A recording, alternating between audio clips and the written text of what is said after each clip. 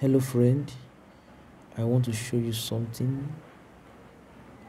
I want to show you something. It says, um, Isaiah chapter 40, verse 31. Isaiah chapter 40, verse 31 says, But they, okay, let's take this. But they that wait upon the Lord shall renew their strength. They shall mount up with wings as eagles. They shall run and not be weary, and they shall walk and not faint. God wants to increase our speed.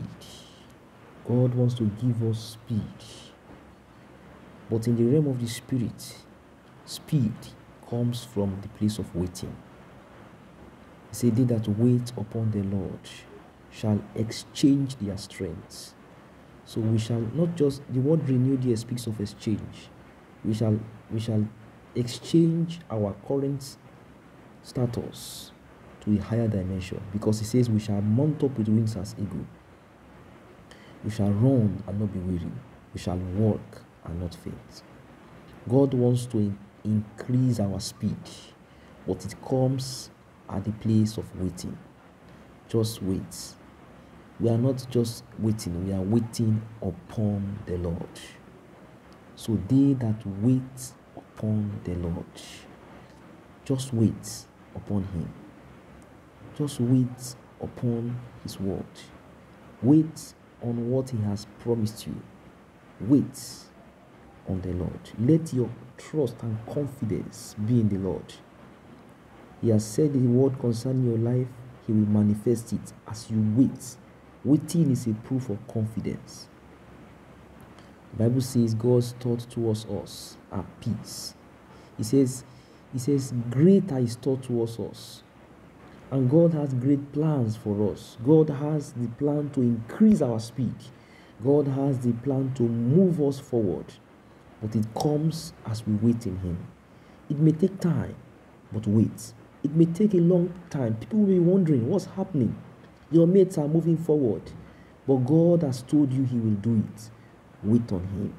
Don't be discouraged. Don't be depressed. Don't be moved. Don't be, be worried. Don't, out of fear and anxiety, run away from God and go, go seek your help. Your help can take you to a certain limit. Even men can take you to a particular point and they go no further. But they that wait upon the Lord shall mount up with wings as eagle. Some of those people who have gone ahead of you, you will overtake them. Because God is your propeller. Because as you wait upon the Lord, God becomes your, your, your engine. God becomes that which pushes you forward. He said they will run and not be weary. Even the even the even the best athletes, they run and they grow weary. He said, but those who wait upon the Lord, they will run. They will run in this race of life and will not be weary. He said they will walk and they will not faint. It got to a point where you walk to your, your own strength and you become tired. He said, but when you when you wait upon the Lord, what happens is that God catapults you, and then you are walking in the strength of the Holy Spirit. What you are doing, what others are doing, you are doing it, and it seems effortlessly because you have waited, you have spent time waiting. While they were running, while they were busy pushing, you were waiting. You were waiting on the Lord. You were waiting on the Lord. You were waiting for God to encounter you. You were waiting for God to push you. You were waiting for God to do what He says He will do. Let God be our engine. Let God be our confidence.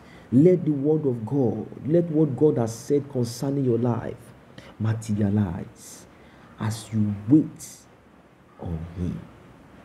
God bless you. Thank you so much. See you next time. Don't forget to subscribe if this message has blessed you in, in any way. Like, share. God bless you. Thank you.